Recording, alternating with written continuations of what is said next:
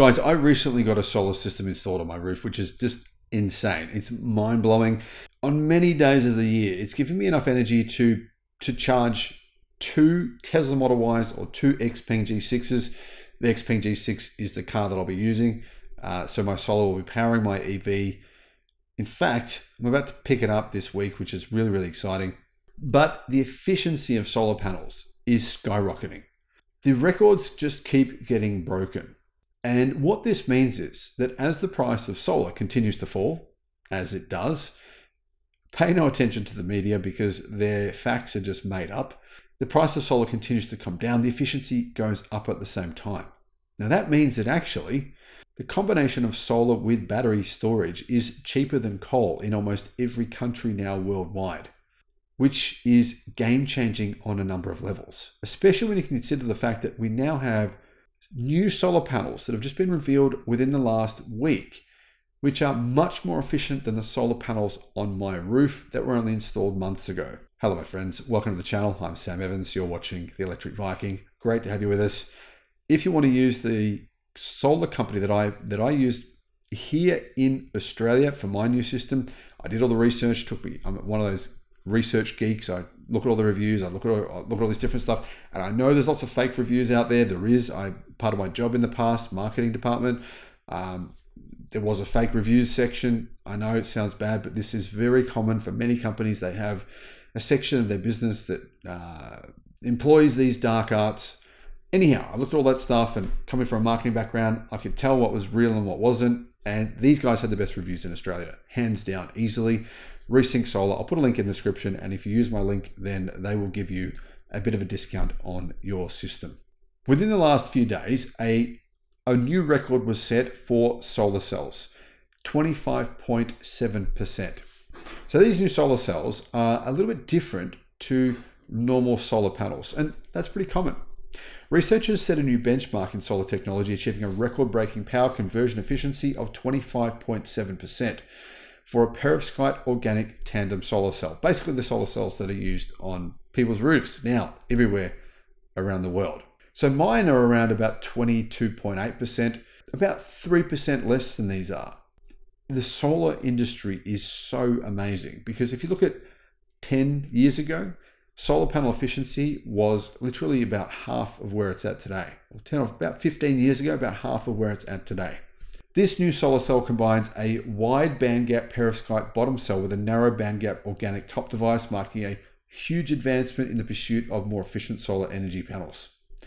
By combining a treated perovskite layer with an organic layer that has a narrow band gap of 1.27 eV, in other words, very, very narrow, the resulting organic solar cell achieved a power conversion efficiency of 26.4% it's been certified. The company claimed 26.4, but it has been officially globally certified at 25.7.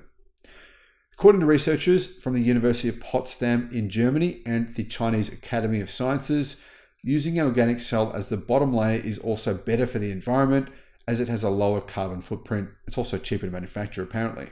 So these solar panels, the reason I'm doing this video is because very good chance within a few years' time, you'll be able to buy similar panels with similar technology.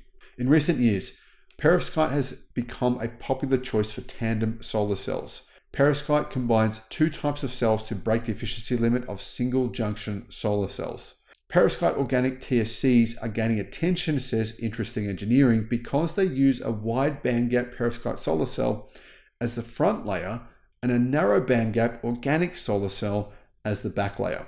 These cells offer good stability and the potential for very high power conversion efficiency. The overall performance of TSCs may be lowered by the wide bandgap perovskite cells' propensity to lose more voltage than conventional perovskite cells. The recombination of charges in the interface between the C60 layer and the perovskite is a bit of an obstacle apparently. Now researchers say that creating efficient techniques to lessen this interfacial recombination is really crucial to enhancing the functionality and the efficiency of organic perovskite TSC solar cells. To achieve this, the group applied a fresh layer of passivation to the perovskite, which lowers material flaws and improves the cell's overall functionality. So what does this mean? Well, Not only are these solar cells very, very thin and apparently easy to mass produce, they showed an impressive 26.4% power conversion under conventional test conditions with a verified efficiency of 25.7%. Now, researchers say that the outcome establishes a new global standard for this kind of solar cell technology, and it shows how perovskite organic tandem cells can be used to produce solar energy solutions that are more effective, more efficient, and potentially cheaper within maybe a few years from now.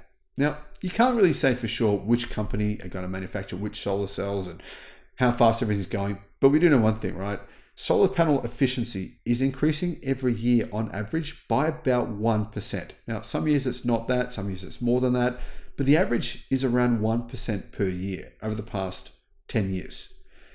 If you think about it, that eventually means we'll get to double the efficiency of what we're at today. Is that possible theoretically? Absolutely, it's possible, especially when you consider the fact that a lot of these new solar panels now are being invented or designed or have new materials being used in them that have been identified by artificial intelligence. So as this artificial intelligence becomes faster and better and smarter, um, so will our solar panels.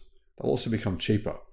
Honestly, the truth is that coal power, gas power, nuclear, none of them have any chance. Because if you look at the improvements in nuclear power plants over the last 20 years, including the efficiency, the cost, the ROI, None of that makes sense in comparison to solar panels and batteries as the most affordable and efficient means of energy storage anywhere in the world.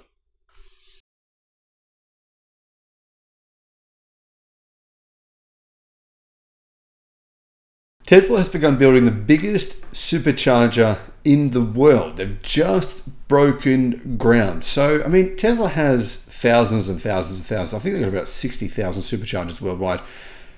Why is this even a big deal? Well, it's a big deal because this supercharger station, which is, like I said, the biggest in the world, will be supplied with enormous amounts of power from a huge solar farm right next door. Hello, my friends. Welcome to the channel. I'm Sam Evans. Great to have you with us. Just want to say a big shout out to the company who installed my solar farm, and we'll soon be installing a battery here at my house as well, which is going to be amazing for me. Uh, huge money savings. I've saved an enormous amount of money since my solar was turned on. I'm paying nothing, to be honest, for electricity at the moment. So if you want to use them, Resinc Solar, I'll put a link in the description below. Tesla's largest supercharger site today is at the Harris Ranch complex in Coalinga or Coalinga, California. There are staggering 98 charging stalls.